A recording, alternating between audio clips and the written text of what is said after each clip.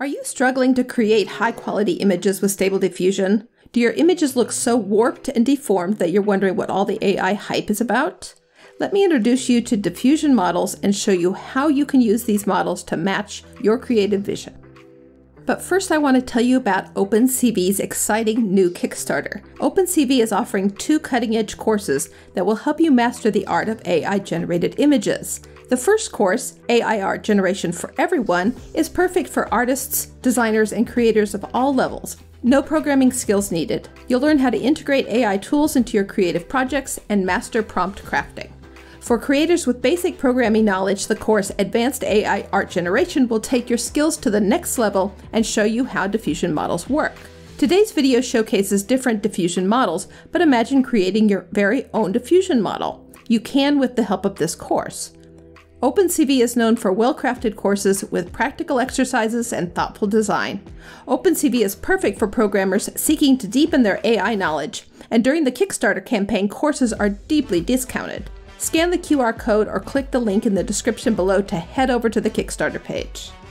If you've not explored Stable Diffusion before, it is an AI image generator like Midjourney and DALL-E. Stable Diffusion is now on version 2.1, but many creators like the older version 1.5 better. There are many ways to access Stable Diffusion, including web-based programs like Dream Studio. Stable Diffusion was trained on billions of images, and the results can be breathtakingly beautiful. But sometimes the images are just too general in style and lack specific details. The magic of Stable Diffusion lies in the prompting and the use of fine-tuned Stable Diffusion models. These Stable Diffusion models are trained on very specific images. The images may have a unique style or content. The same prompt in different Stable Diffusion models will get you a very different style of image. Want all of your images to look like they came from a Disney Pixar movie? Or want all of your images to be double exposures? There are models for that. Or maybe your aesthetic is more anime. Or maybe sci-fi. There's probably a Stable Diffusion model out there for you. There are a lot of Stable Diffusion models out there. Some are better than others. Luckily, there are helpful websites that collect Stable Diffusion models, making them easy to use. Let me show you two of these. MageSpace and Instant Art host many different Stable Diffusion models, each with a unique look and flavor. Let's start with Instant Art. When you open Instant Art, it looks like a basic AI image generator. But click on Model ID and you'll see the difference you can choose from over 30 different stable diffusion models. From anything, which focuses on anime, to Tron and Robo Diffusion that create robots or scenes from the movie Tron with lots of neon and smoke. You can even try a stable diffusion model tuned to create Midjourney like images. Simply type your prompt into the box and choose your model. You have some aspect ratio options and you can change the guidance scale. You can also select the number of images that you want. But you want to know the best bit about Instant Art? It's free. There's a slight catch though, it's not exactly the speediest AI image generator. You will wait a bit for your images, but the results are well worth the wait. If you want speedier AI image generation, check out Mage Space. You can make Stable Diffusion version 1.5 and 2.1 images for free. If you subscribe at the pro level, you'll get about two dozen extra models, and your images will appear within seconds. Mage and Instant Art share a few models, but most of the models on Mage are different from Instant Art. On the home page, enter what you want to see in the box under Create Anything. Wow, anything! Then choose a model. You have a few aspect ratio options, guidance scales, and steps.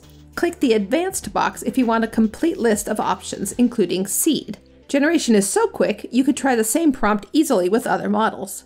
Some of the best models are Deliberate, Dreamshaper, Arcane, and Open Journey. The models won't be excellent across the board, you'll still need some prompting craft to get a good image. Like with most Stable Diffusion prompts, the more details you add, the better your image will be. But remember that these are specialized Stable Diffusion models. It's not that you can't use models for other than their intended use, the results may just be stylized or a bit random. Using Portrait Plus to make a landscape, the image might be quite nice, or it could be a disaster. If you're looking for a beautiful woman, don't ask a model like creepy critters. The hard part is finding the model that fits your style. Both MageSpace and Instant Art let you search images made by the community. If you're into landscapes, search for landscapes. When you find images you like, click on them and note the model. Both platforms make it easy to rerun or remix other creators' prompts. Simply click on a prompt and click the Rerun or Remix button if you would like to change something, like the model. AI is a very sharing community.